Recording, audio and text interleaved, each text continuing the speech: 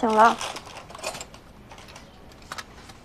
哦，我怎么在这儿啊？你昨天低血糖晕倒，又发了高烧，被人送到了这里。来，还好，烧总算是退了。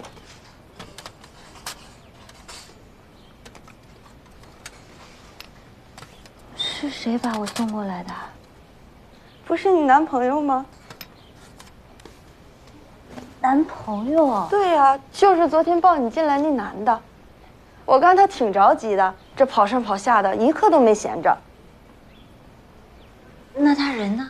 他现在去哪儿了？呃，好像一大早就走了吧。哎，不过他昨天可在这儿守了你一夜，今天早上又给你买了那么多吃的，还挺细心。一会儿等医生来再给你检查下，要是没什么问题的话，今天就可以出院了。好的，谢谢啊。好。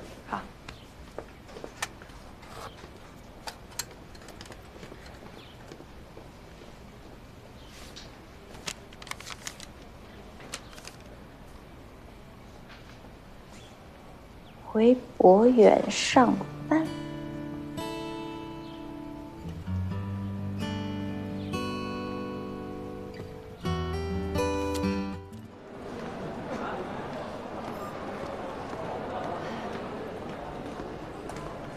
您好，我来交费。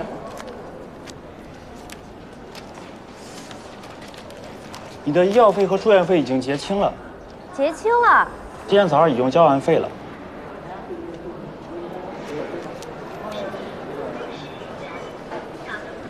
谢谢啊。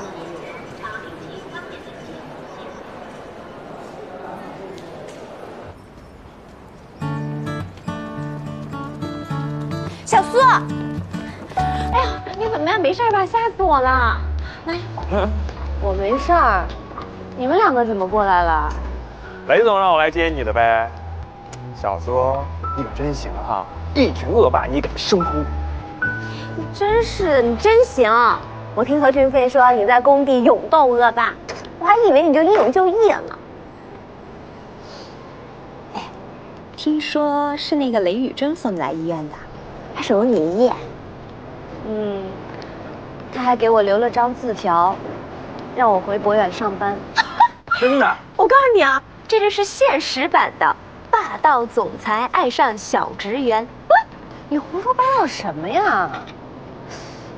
不过，他倒是把医药费给我都结了。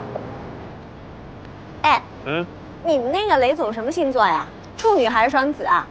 你前一秒还冷若冰霜的，这后一秒就人间自有真情在了。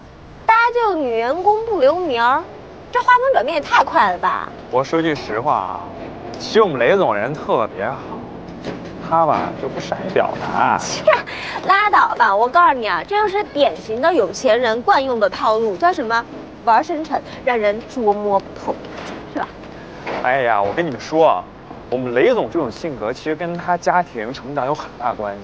哎，我听说啊，很小的时候他妈妈就不在了，所以我估计啊，可能就因为这个原因，他才显得有点孤傲吧。雷总，这是上回您替我交的医药费，一共一千七，请您收下。怎么？您是嫌不够吗？小苏，既然你还是收下吧。你为公司这么卖命，医药费理应公司承担，你不必这么认真吧？身体恢复的怎么样了？谢谢雷总关心。不过我这人吧，有时候还真特较真儿，钱我是一定要给您的。好啊，我看出来了，杜小姐是不想欠我的，是吗？那我也无话可说了。如果没有其他事情吩咐的话，我先出去了。对了，谢谢您让我回博远。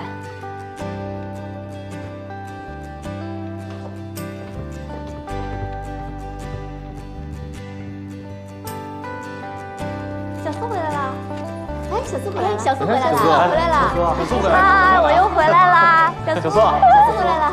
小苏，你可算回来了。小苏。我们大伙可都听说了你在拆迁工地的大事情。小苏，你太棒了！对呀对呀，好棒啊！小苏，欢迎回来。林总，这次回来不走了吧？希望如此吧。小苏，不要走了。对呀，别走了。晚上我们一起去聚餐好不好？啊，那今天晚上我请客。多少苏？来一下我的办公室。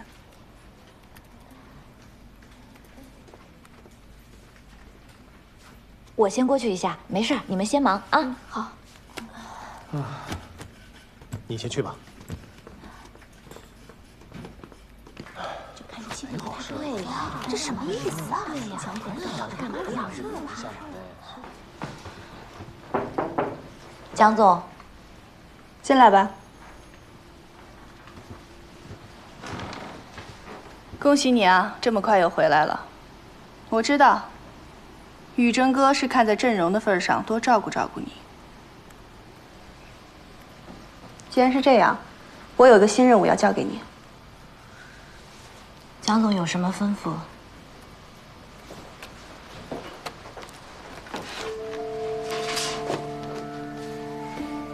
这个是环球娱乐中心核心功能区的设计方案。这些人送上来的方案，我跟宇征哥都不是太满意。听说你能力不错，既然是这样，我给你三天时间，出几个方案，让我挑一下，怎么样？三天，几个方案？怎么说，你也是学设计出身的，我这也是在帮你证明你自己。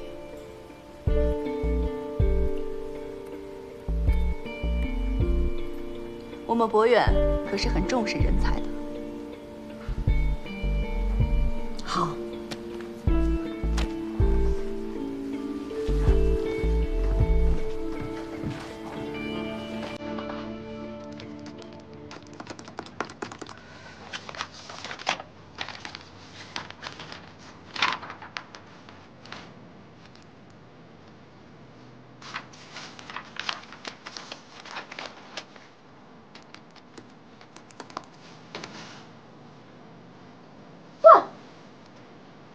穷鬼，这大周末的竟然在加班啊！我的美女上司要和她的闺蜜约着下午茶，同事们呢，约会的约会，陪孩子的陪孩子，这加班的重任只能交给我独自一人享受喽。嗯，好可怜，辛苦了啊，辛苦了。嗯，真舒服。哎，今天你应该没事吧？咱俩去吃火锅？不行，何君非要约我去瑞欧逛街，你要送我新年礼物，我肯定要给面子去啊。我觉得人家群飞对你是真心的，别老飘着。嘿，你听哪边的呀你？干嘛呀？下手那么重？说话天天跟我妈似的。婚姻是女人一生中最重要的大事，你知道吗？我不能着急。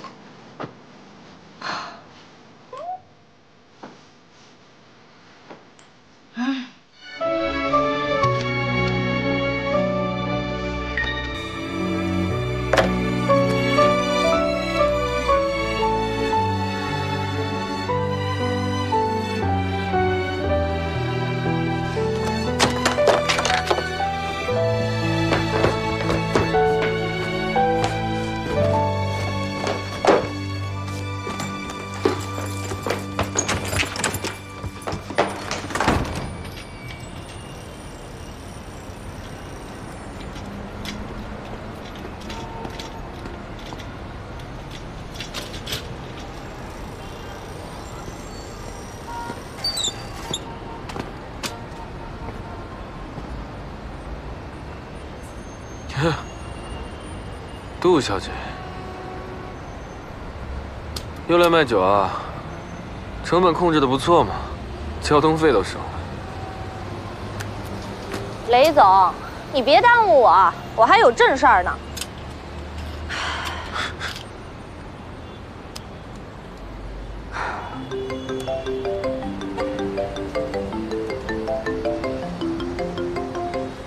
哎，喂，你好，我是雷总，是你叫的代驾。怎么，要报订单号给你看看吗？不用了，那我再帮你重新叫一单吧。您这活我接不了。为什么？我叫一代驾来一熟人，这不更放心吗？你放心，我不放心。怎么了？杜小姐，你还怕我吃了你不成？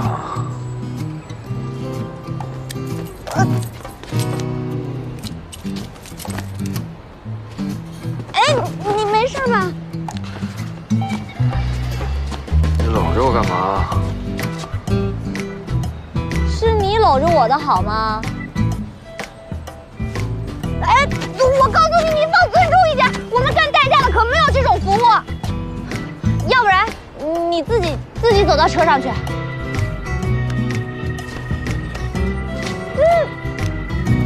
杜亚苏，你怎么一天到晚这么吵啊？就不能安静一会儿？做你们代驾的，不经常碰到我们这种喝大的、抓着不撒手的吗？赶紧上车。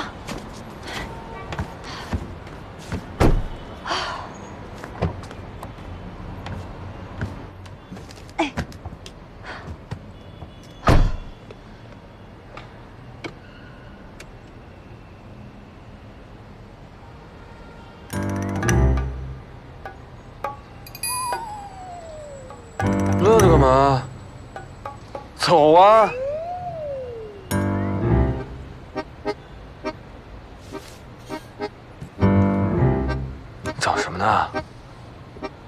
这车没有钥匙孔，发动啊！脚踩着刹车，在那儿，按一下。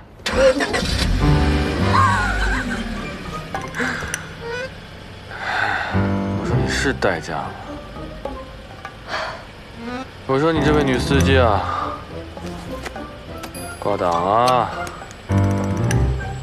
你闭嘴！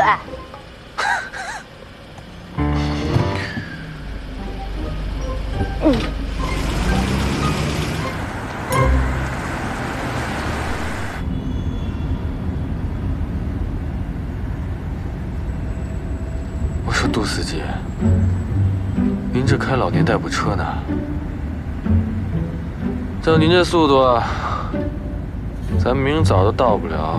你少废话，是你让我开的。你要是不乐意的话，可以退单呀。那多不好啊，显得我多没心胸啊，你说是不是？哎，像你这样稍微有点姿色的女司机不多吧？万一碰上色狼怎么办？你们上岗前是不是都有做什么防狼培训啊？啊，照您这蜗牛速度，咱一时半会儿也到不了，闲着也是闲着，聊会儿吧啊。海狼，碰见你就够危险的。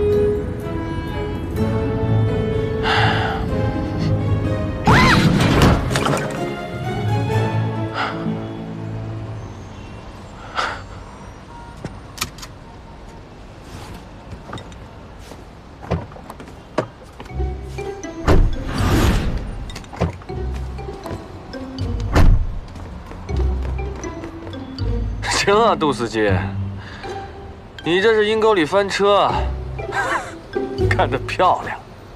对不起，我不是故意的。你这车太高了，我刚才都没有看到这儿有一马路牙子，我也没有看到前面有这么一个花坛，我得抻着头看。你再抻一个我看看呗。别找借口了，报警，找拖车吧。要不是刚才你跟我说话分散我的注意力，我的我，我现在先报警打拖车，你别跟我说话。喂，哦，对，对，在青石路上面，然后这边有一个，啊，有一个银行大厦。好的。哦，好，谢谢。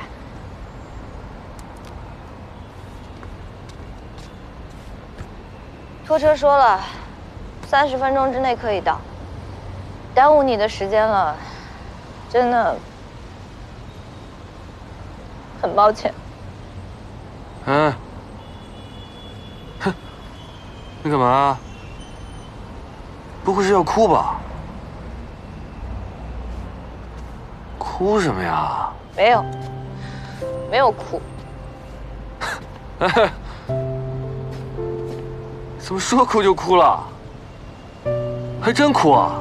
我就是，我就是想干一代家多赚点钱，结果可好了，把车都撞了。不是，我这也没说什么呀，你把我车撞了，我又没抱怨。再说了，我又没让你赔。你让我赔，我也赔不起。你说你们这些土豪干嘛开这么贵的车呀？早知道这样，我就应该退单。好，好，好，行了，你就别嚷嚷了啊！你再这么嚷嚷，一会儿警察都被你喊来了。等拖车吧，啊？哎，不对呀，你把我车撞了，啊？你把我的林肯当老爷车开。你撞在花坛上了，我没让你赔。你现在在这大哭小闹的，还要我劝你？为什么呀？该哭的应该是我吧？反正我也赔不了，你自己看着办吧。你说我怎么那么倒霉啊？本来想开个车赚点钱。偏偏还碰见了你，这回倒好了。我说你行了，你一天到晚就琢磨着赚钱，就为了那套房子吗？够执着的。那是他留给我的唯一东西，我必须要拿回来。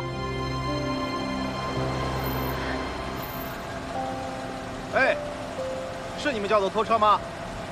对，这边是我。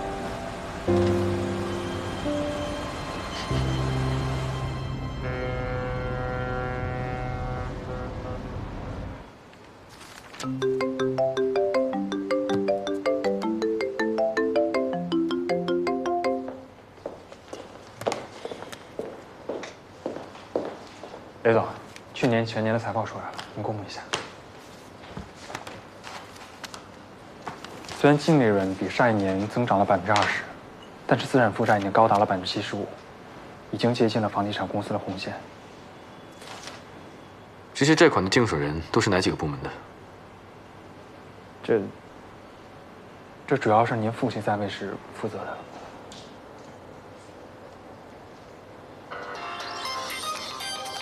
不好意思，接个电话。喂，林总。对。我和雷总在一起。今晚啊，您稍等一下，我和雷总确认一下时间。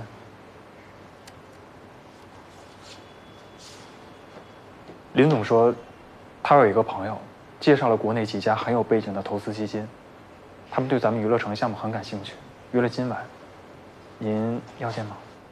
几点？新荣记，晚上七点半。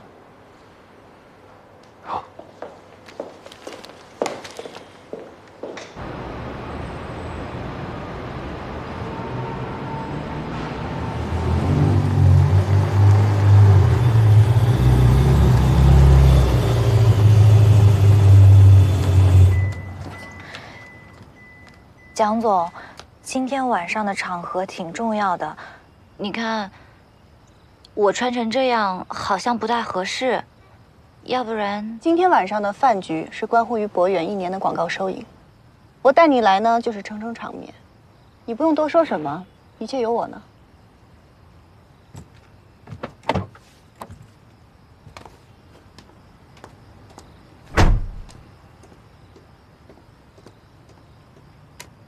魏总，我必须跟您隆重介绍一下，我身边的这位是我们博远的才女杜小苏，还是我们董事长身边的大红人呢。哦，好。啊，蒋总，您说的太夸张了。小苏，魏总可是我们传媒集团的大鳄，华海路上有一半的广告牌位都是他的。魏总平时可低调了，从来不轻易参加饭局。今天这么给我们面子，小苏，你好好招待一下。蒋小姐，您可是冤枉我了。那今天咱们好好喝，好不好？我们把以前的一并补上。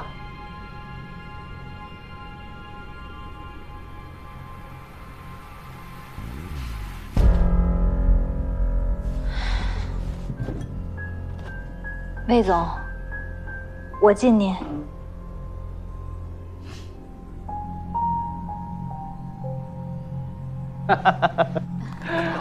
哎呀，这美女啊，我见得多了，这才女啊，不常见。杜小姐呢，有才，又有颜，这杯酒，我心甘情愿的干了。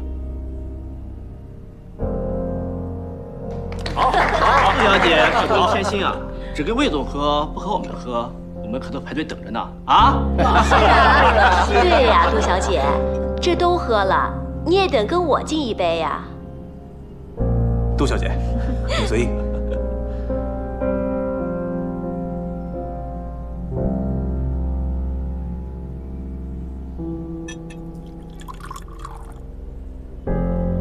这第三杯，这个轮到我了呀。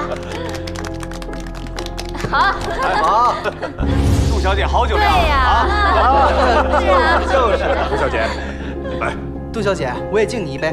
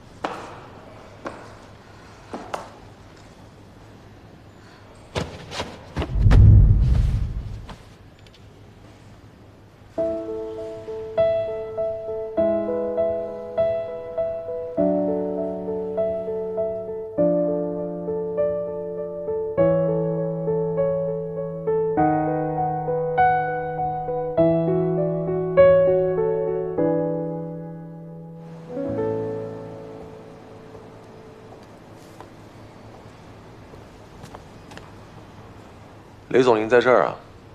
林副总怎么也出来了？看来我们都是出来躲酒的。呵，这不是老同学杜小苏吗？好久不见。那我先回去陪客户了，下次再聊。再见，小苏。怎么，杜小姐和林副总还认识？认识，我们两个认识很久了。杜小姐是我大学的学妹，毕业以后一直没有怎么联系。没想到在这个地方遇到。杜小姐在博远高就，我们新生又在和雨天合作，转来转去都是自己人。是吗？原来林副总和杜小姐是大学同学。这叫故人相逢啊！雷总，咱们回去吧，别让客人等久了。宇真哥，你怎么也在这儿啊？和林副总约了人吃饭。哎，怎么？博远今天聚餐啊？哪儿啊？正跟那帮客户死磕呢。这不，把小苏也叫过来陪我对付他们来了。宇正哥，我这可是为了咱们集团的业绩才这么拼。你是不是应该好好想想该怎么奖励我呀？你蒋小姐想涨薪水那还不容易，就怕那点钱你看不上。我不是这个意思，我是说，哎，小苏，你怎么还在这儿啊？魏总他们正等你敬酒呢。宇真哥，你都不知道那帮老狐狸有多狡猾，场面上的话说的是滴水不漏，就是不提合同的事儿。你酒量可不好，悠着点儿啊，免得喝多了，还真没人扛你回去。我就知道你心疼我。宇真哥，你放心，我们舍命陪君子也是应该的，对吧，小苏？啊，好，那我先进去了。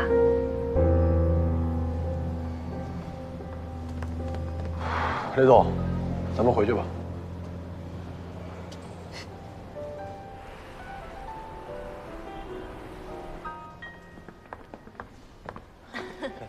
非常感谢蒋小姐的款待啊！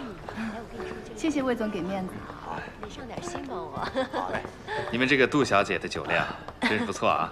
感谢魏总，合作愉快。下回见。嗯，下回见。再见，蒋小姐，下回见。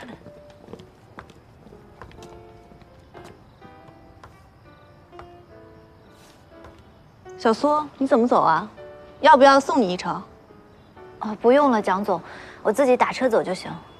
那行，我就不跟你客气了。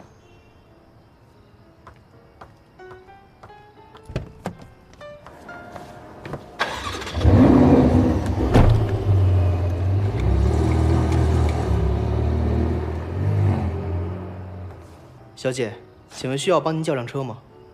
啊，不用了，我想自己走一走。呃，好。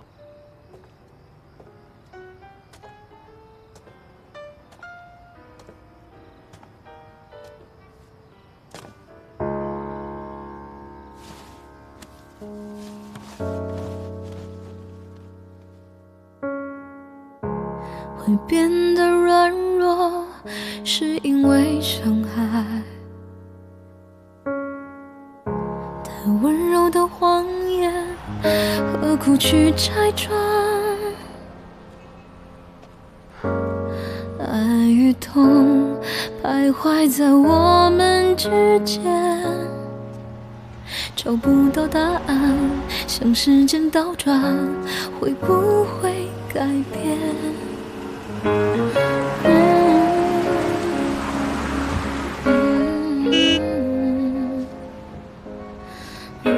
这街上有什么风景啊，值得你杜小姐一个人在街上闲逛？雷总，梦游呢？您可真会开玩笑。我就一个人在街上走走。你就不怕这黑灯瞎火的，遇上个劫色的？就我？啊，那可说不准啊，说不定碰上个饥不择食的，趁着这夜黑风高的，撞上一个算一个呢。到时候，把你往编织袋里头一装，黄浦江里头一撂，想想都可怕。上车吧，我送你。没听见吗？你不怕，把你往编织袋里头一装，黄浦江里头一撂，从此你人间蒸发，销声匿迹。过了这村可就没这店喽。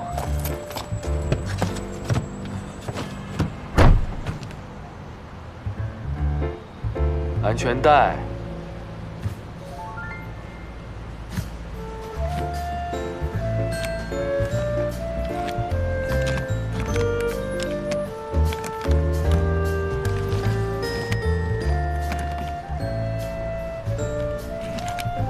看来杜小姐今天没少喝酒吧？没喝多少，就一点点。一点点。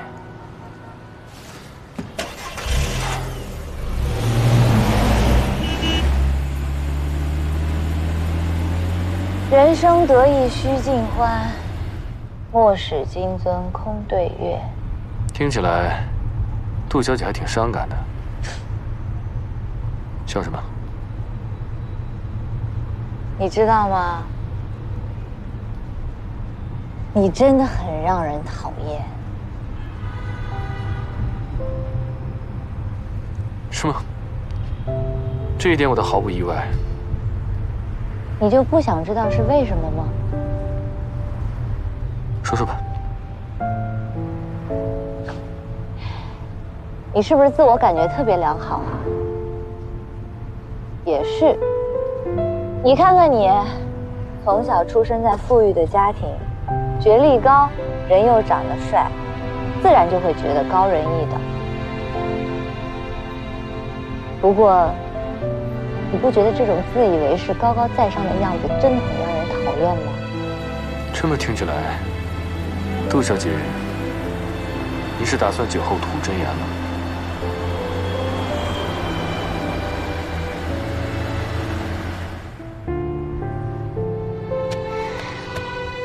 这就是酒精的魅力。你永远把自己裹在一个壳里，表面上看上去很 nice，但是其实内心是一个极度缺乏安全感的人。杜小姐，我劝你不要揣摩别人的心思。你凭什么以为你很了解我？凭什么？凭我的直觉。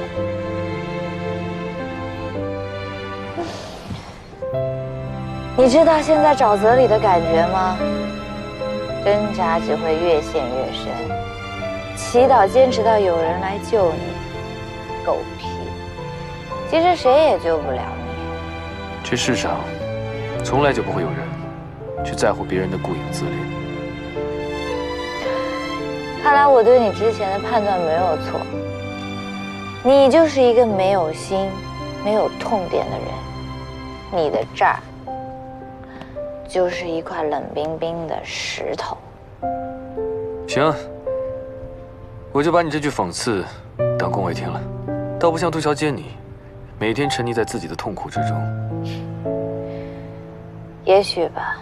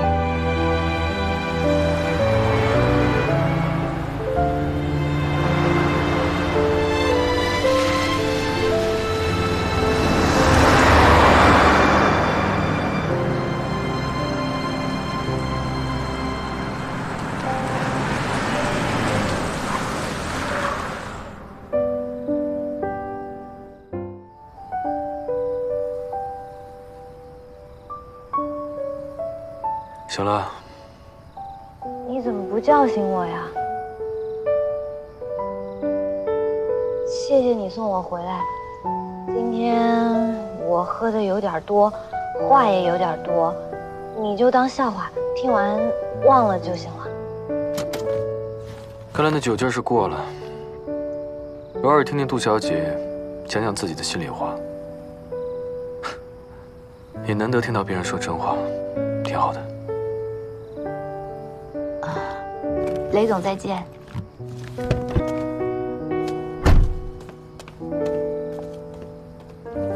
杜小姐，其实我一直有一个疑问：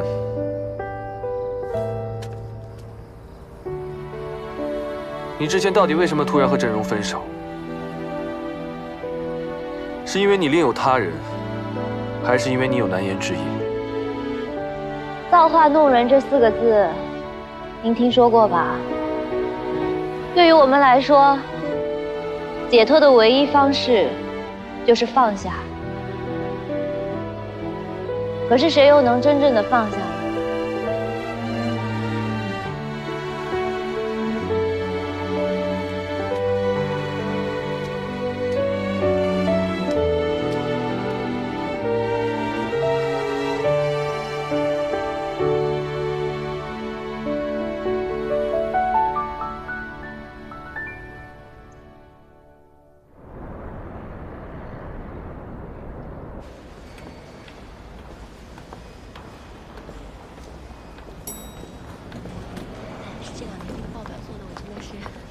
宇真哥，雷总好。何律，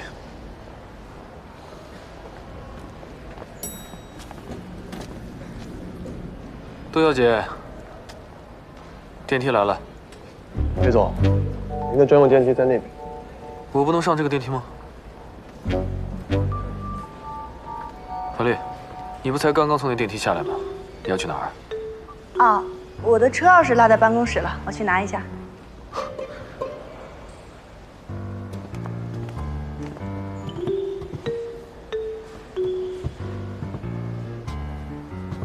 你不上来吗？我就那么可怕？我一来电梯都不敢上了。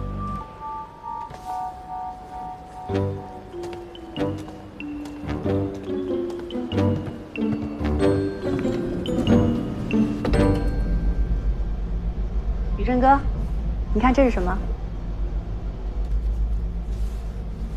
昨天晚饭一结束，魏总就让他的秘书把合同给我发过来了。怎么样？你的事情我够上心、够给力吧？可以啊，樊律。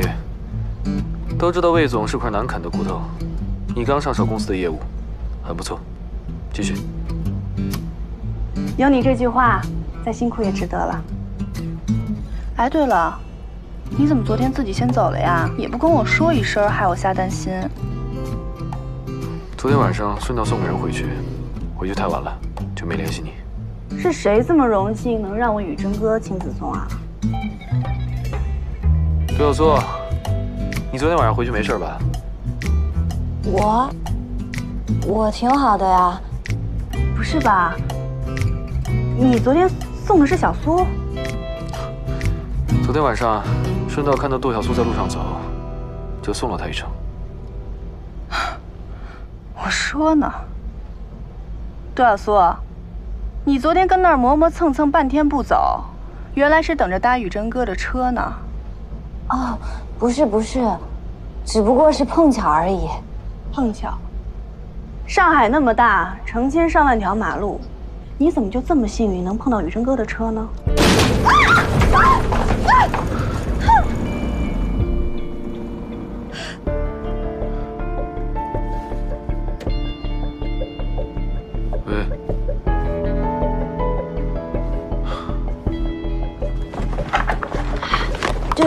对不起，雷总。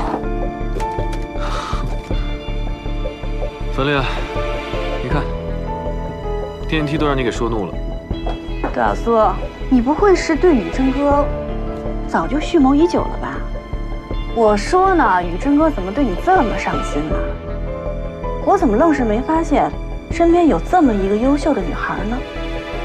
请了，樊丽。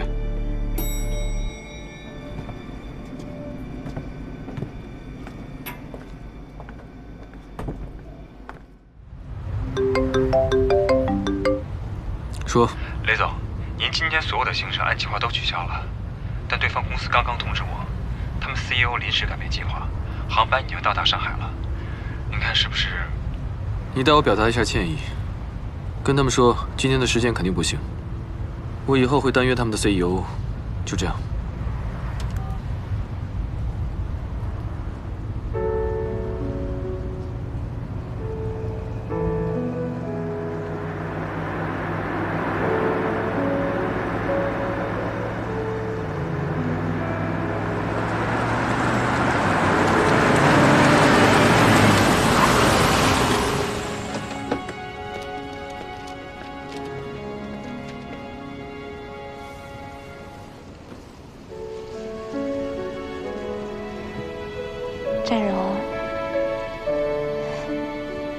今天是你的生日，我来看你了。你还记得这个布丁吗？那是我生日，我自己都忘了。你在那边过得好吗？我记得你离开我的那天。是个雨夜，我做梦都没有想到，那是我们俩这辈子见的最后一面。我甚至都没有来得及跟你好好道别，你就永远离开我了。如果时间可以倒流，如果上天愿意再给我一次机会，我真的说什么都不会答应少姨的请求。那是他们上一辈的恩怨，不应该由我们俩来偿还的。我特别后悔，我当初为什么不坚持？为什么要那么轻易的放弃你？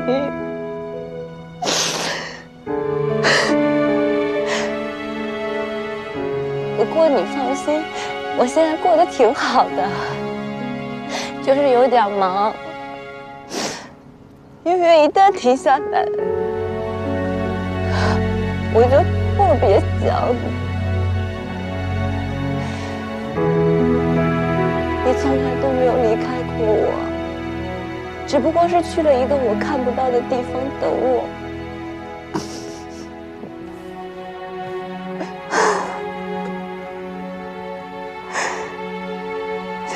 我真的是太累了，我觉得我坚持不下去了。你还记得我们的家吗？你说你要好好设计，给它挂上白色的窗帘，在阳台上种好多好多的花。我们俩还要养一条小狗。从现在，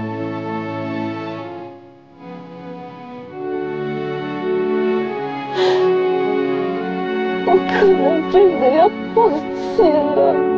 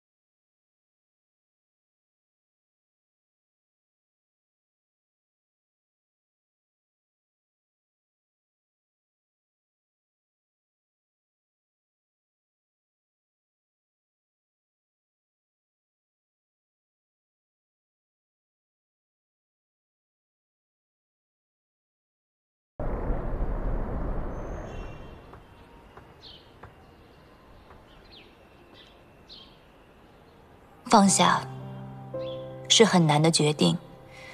这段时间，为了这个约定，我倾尽所有的努力，依旧徒劳。我爱郑荣，可以没有房子，因为郑荣从来就没有离开过。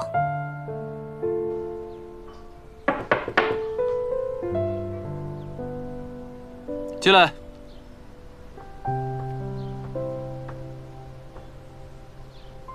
雷总，坐。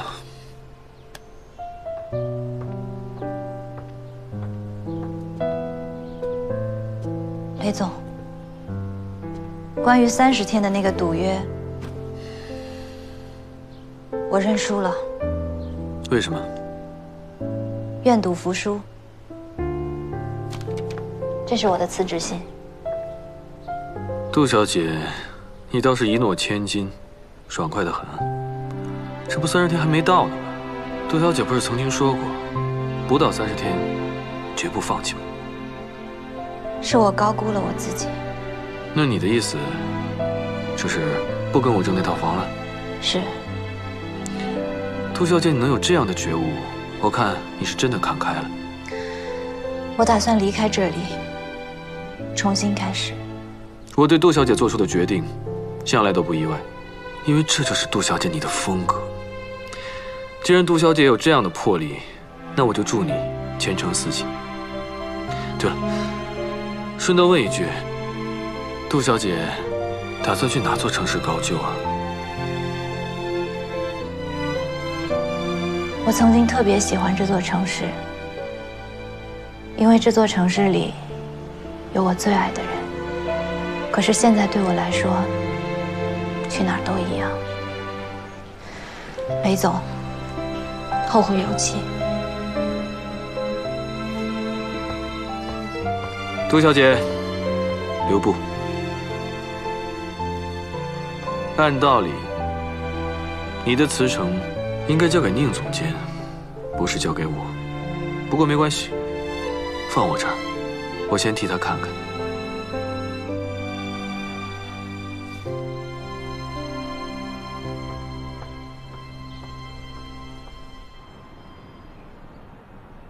思琪，群飞，嗯，今天我已经提出辞职了。啊？杜小苏，你行不行啦？到底什么情况啊？我今天向他认输了。什么意思？他跟你们雷总打的赌，说三十天之内筹齐房款，要不然就辞职滚蛋。啊？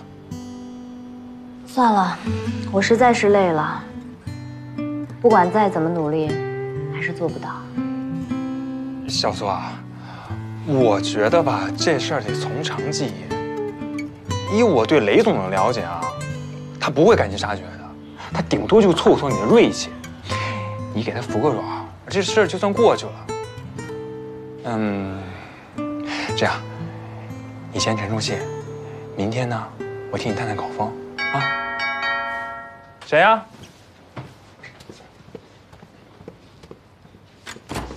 嗯，一会你的快递啊。好，请签收。嗯。谢谢啊。什么呀，杜小苏，留快递。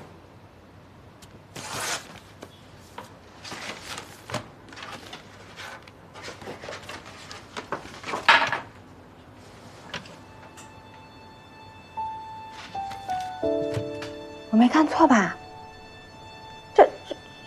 不是一品名城的房子吗？那这就是雷雨珍寄的喽？嗯他要把房子还你啦？嗯，不会吧？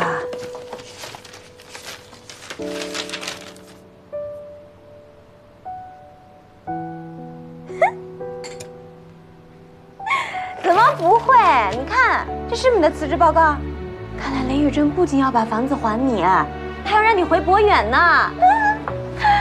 哎呀，我就说我们雷总他宅心仁厚，他不会跟你这种小喽啰计较的。这钥匙也有了，你不赶紧去看看房子？哎，你慢点儿，你慢点儿。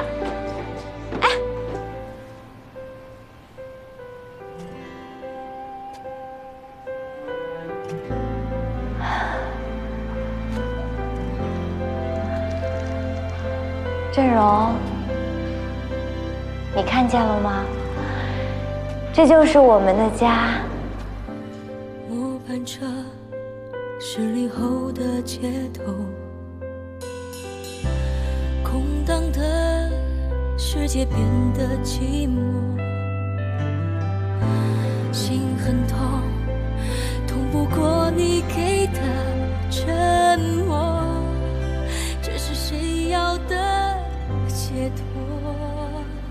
小苏啊，干嘛？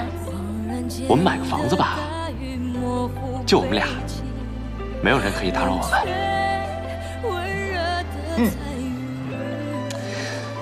然后呢，你呢就负责设计，我们俩一起来装修。这儿要摆一个照片墙，墙上挂满了所有我们出去旅行的照片。还有宝宝的，阳台上要种很一定多的要有花在那个方位要这边摆摆一个秋千，秋千是为我准备的吗？是是是是是，那是为我准备的。我们还要还要养条条狗。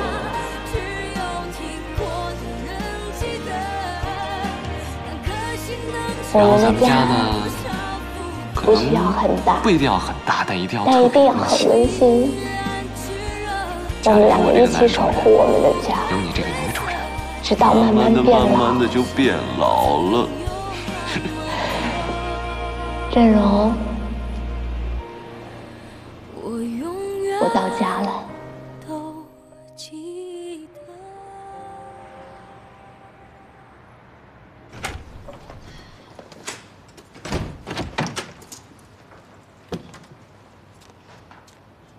心情不错呀，看来是缓过来了啊。这有个快递，好像是说从邵医生的医院转来的。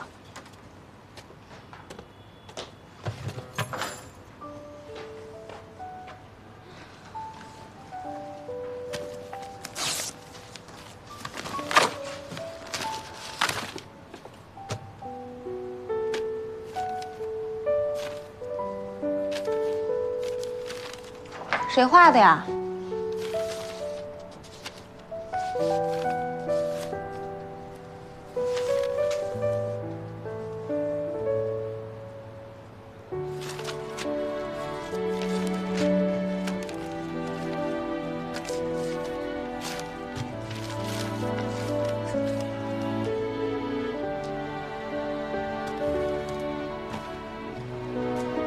邵医生，这是孩子们送你的生日礼物，祝你生日快乐。如果你能来岛上就好了。孩子们盼着见振荣叔叔呢，一定要和杜记者一起来啊！小苏啊，我想带你去个地方，一个美丽的小岛。岛上呢有个小学，小学里面有小孙老师，还有可爱的孩子们。我们一起去岛上看他们。嗯，不过可惜了，他们没见过我。那必须是我陪你去啊！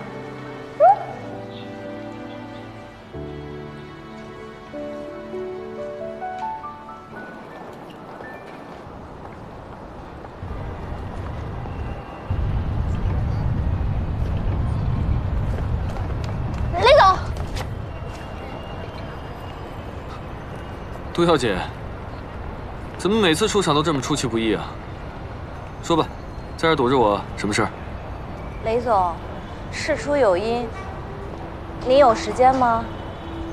我想请你吃个饭，不知道有没有这个荣幸？走吧，先上车吧。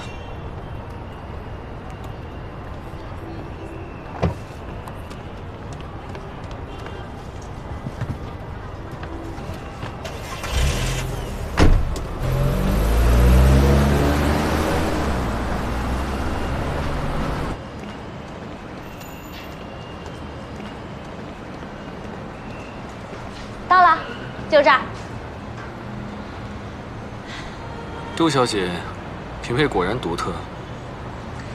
雷总，你别看这家店面小，跟你米其林三星私厨宴比当然是不能比。一会儿你吃上了就不会这么挖苦我了。这里的面，让你吃一口就会让你忘不了。是吗？走吧。啊，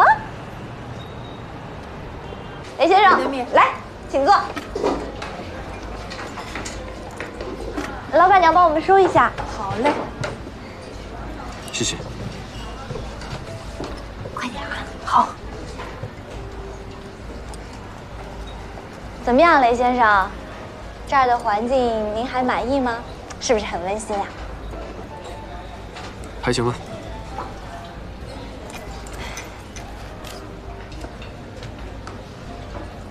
雷先生，您把房子还给了我，可是我呢，也不能不懂事儿。这个信封里面有我一张存折，是我目前所有的积蓄，应该可以够付那个房子的首付。还有一张欠条，清楚的写着我欠你多少钱，以后我会每月按揭还您，利息呢就和银行是一样的，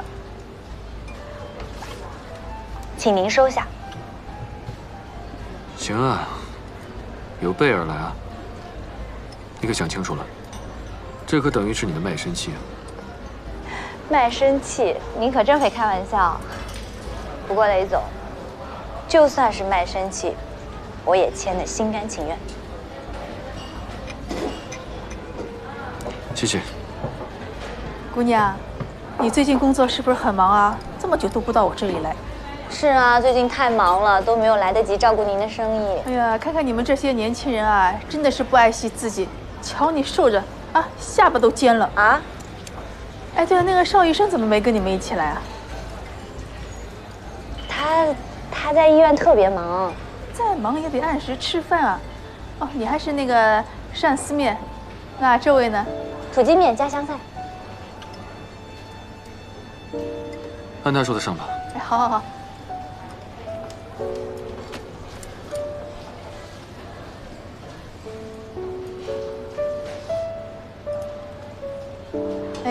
面来了，土鸡面，给，快尝尝，好久没有吃了。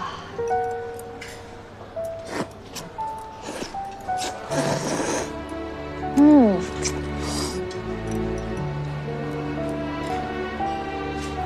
你还别说，这家还真不错。我就说嘛。偶尔走下神坛，过过普通老百姓的日子，不也挺好的吗？柴米油盐、鸡毛蒜皮，这才是人生嘛！我说你啊，吃个面也能整出这么多说辞来。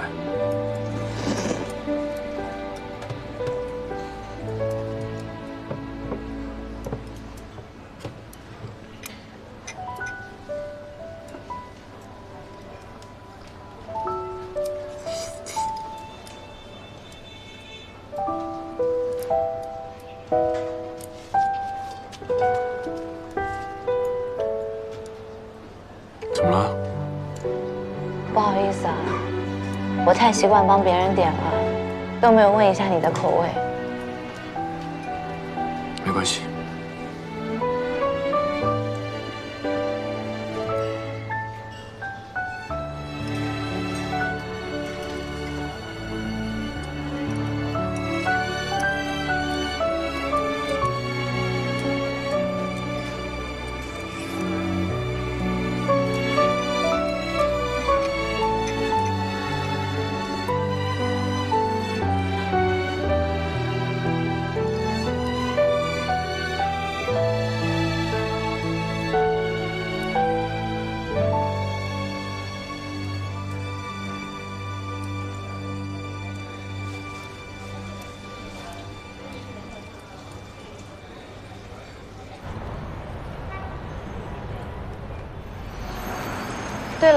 我还没有问您，您为什么突然把房子的钥匙给我啊？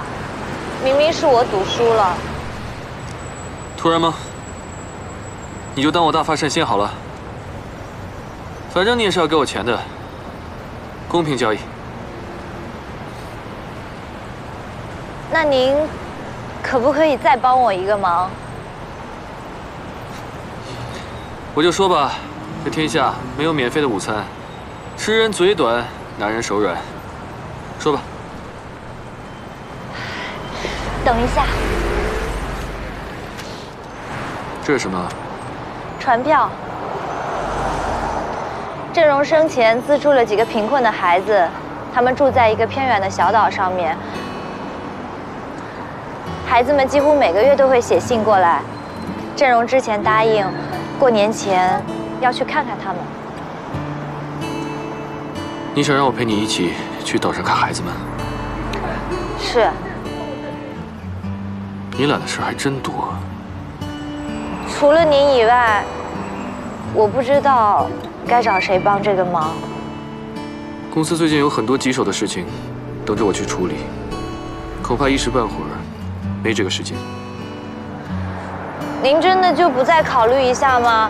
因为这件事情对于孩子们来说非常重要。而且意义重大。我可以以阵容的名义去捐款去盖学校这些都可以。人去不去很重要吗？有些事情不是金钱可以代替的有时候陪伴比物质的给予更重要。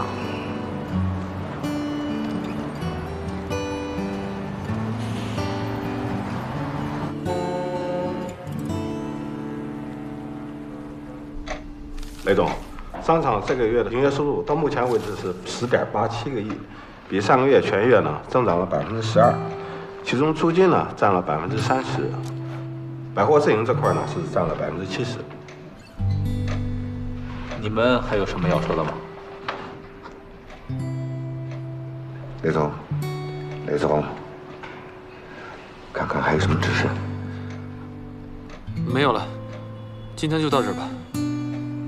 散会。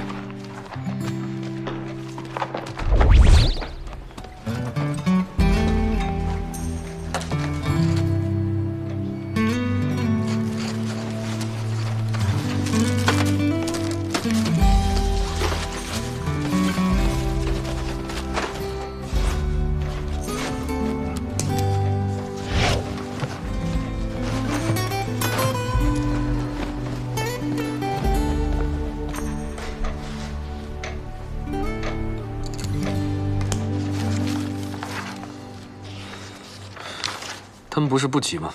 林总的意思，娱乐城的事情已经撑了挺久了，对方那边好像颇有微词，能否推进，催咱们尽快回复。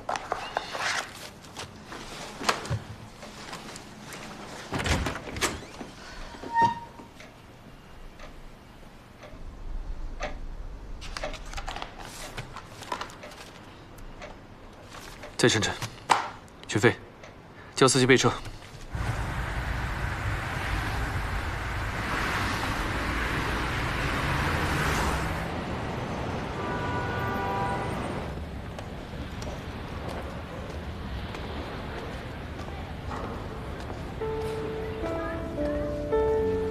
想让我陪你一起去岛上看孩子们？除了您以外，我不知道该找谁帮这个忙。我可以以阵容的名义去捐款，去盖学校，这些都可以。人去不去很重要吗？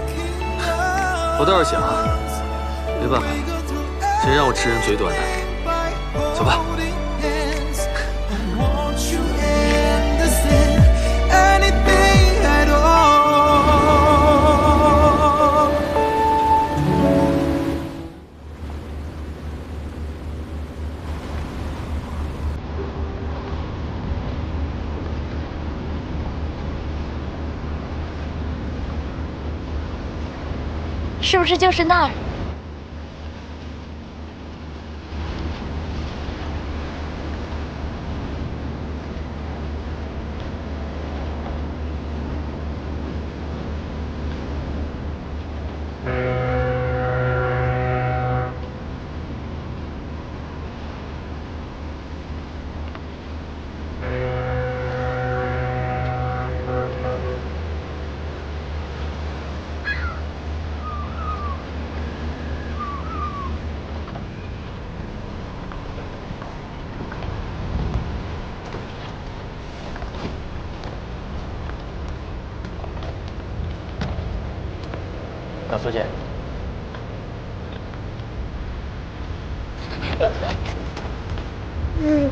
小孙老师您是杜小姐吧？啊，那这位是邵医生。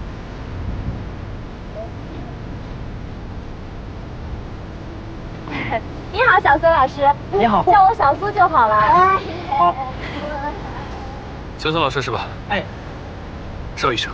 你好，你好，邵医生。孩子们，老师在学校怎么跟你们说的呀？苏姐姐，老师好。杜姐姐，邵叔叔，这怎么还差了辈儿了？孩子们真的是太可爱了。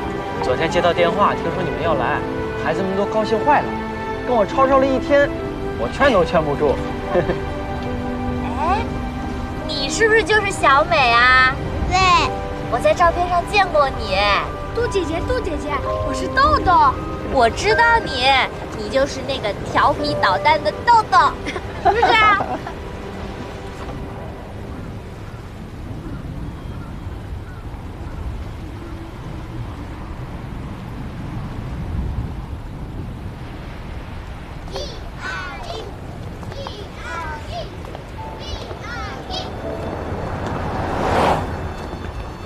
这岛虽然不大，但以前也曾经热闹过。渔民出海打鱼前啊，都会聚到一起做个祭祀，全村的人都会来参加。只不过现在落寞了，外面的世界变了样，很多镇上的人啊，都搬到了城里，去过城里人的生活了。那这些孩子都是留守儿童？那倒不是。小美和豆豆他们的父母一年前出海打鱼，再也没回来过。那他们两个现在谁照顾啊？为了瞒着他们俩，我们一直都说他们的父母是去城里打工去了，现在留在学校，我们来照顾他。你就没想着给他们两个找个家吗？这俩孩子死活不肯离开小岛，说是要等爸爸妈妈回来。哎，看着都让人心疼啊。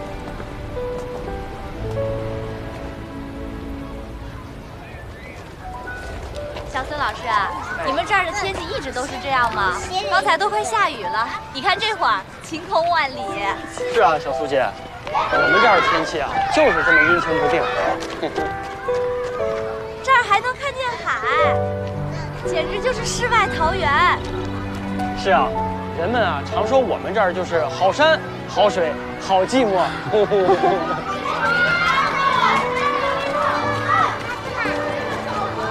喽，哦，哈哈。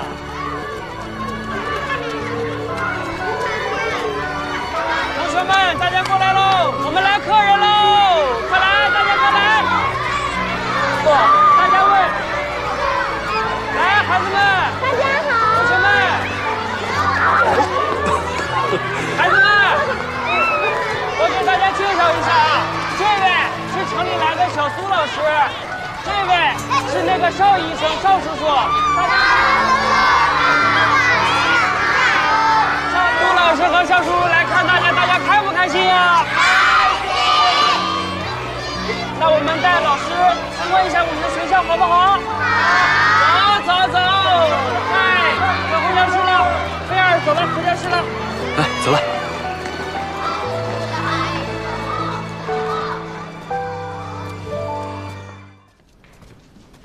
来，小苏姐这边。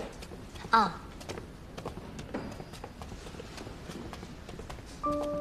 来，好。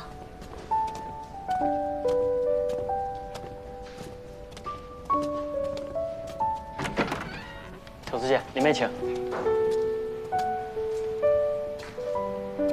这个是我的宿舍，床单和被子都是刚换的，床是小了点儿，只能麻烦你们凑合一下了。不不不，小孙老师啊，我们过来就已经够打扰你的了，怎么好意思再占用你的宿舍呢？我们今天晚上就跟孩子们挤一下就行了。那怎么能行呢？哎，我觉得这房间其实挺好的，啊，窗户还面朝大海呢，完全就是一海景房。邵医生，你可真幽默。好，那就不打扰你们了，你们早点休息。哦，因为最近这个油价又上涨了，发电机啊可能工作不了一会儿，所以你们抓紧时间，好吧？谢谢啊。嗯。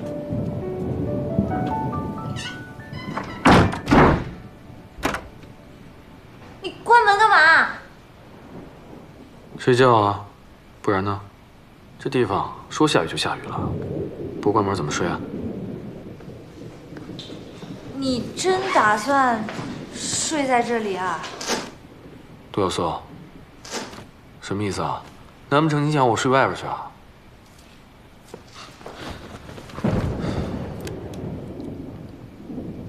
你难道真打算让我睡到外头去啊？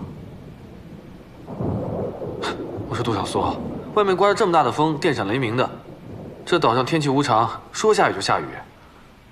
再说了，你请我来的，你这样做未免也太狠了吧？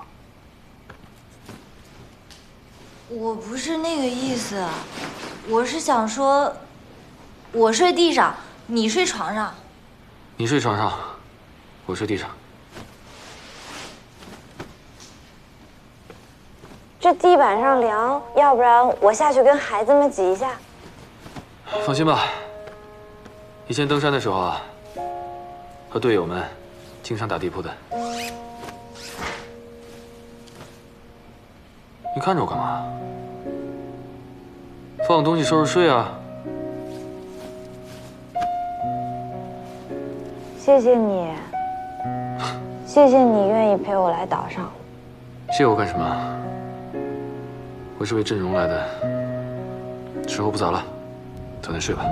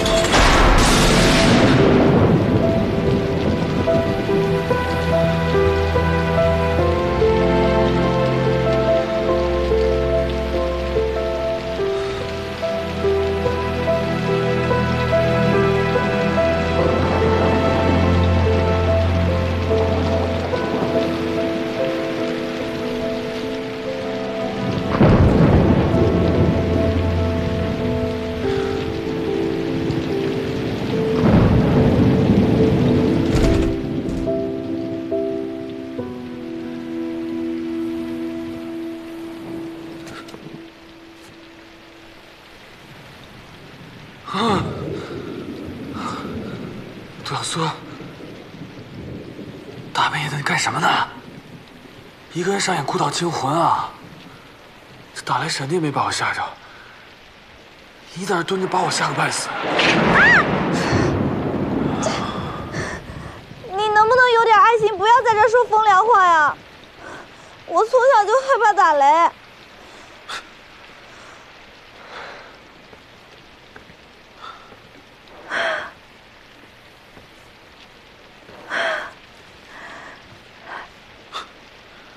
平时看你不是胆儿挺大的吗？啊？怎么这会儿怂了？哎，起来吧，别自己吓自己了。我不，我待在这儿比较有安全感。有安全感。啊，手都冰了，还不起来？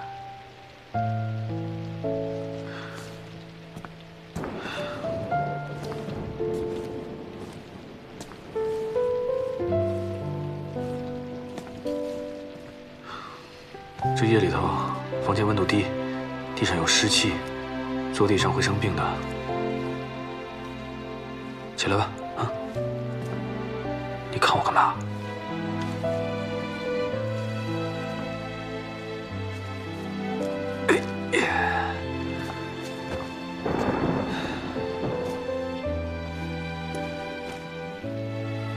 暖和了吧？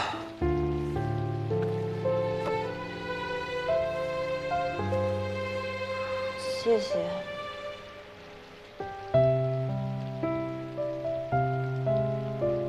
我的样子真有这么可怕吗？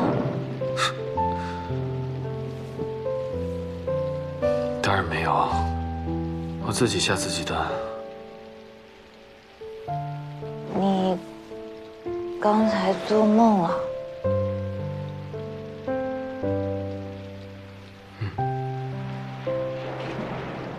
要不要聊聊？很伤感的样子。你吓得都坐地上了，就你现在这样，你还有心思关心我啊？我就是随便问问，你要是不想说，我刚才梦见了一个人，我努力想看清他的脸，可是无论我怎么努力，我就是看不清。梦里头也是这样的，雷电交加。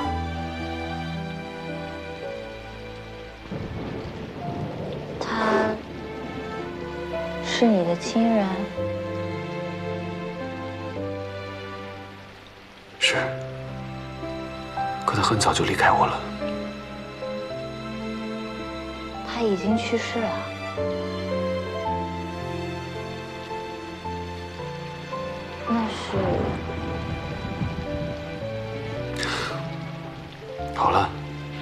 都是很久以前的事了，早点休息吧。